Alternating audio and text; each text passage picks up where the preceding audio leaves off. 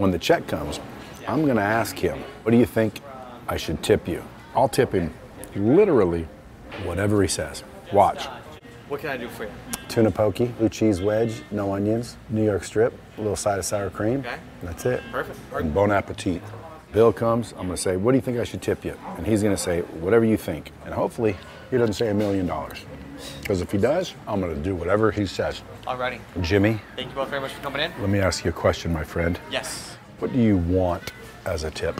What do I want? Well, I mean, of course you got the like the obnoxious answer was like a million dollars, right? But whatever you think my service was worth. I'm not the one to determine that. Or whatever I want. Whatever you would like, yeah. Alrighty. What's he getting?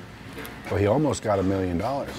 He said, I could give you the obnoxious answer, which is a million dollars, but I won't. I'll let you decide, which cost him, in this case, $999,900. Ask for what you want and expect to get it.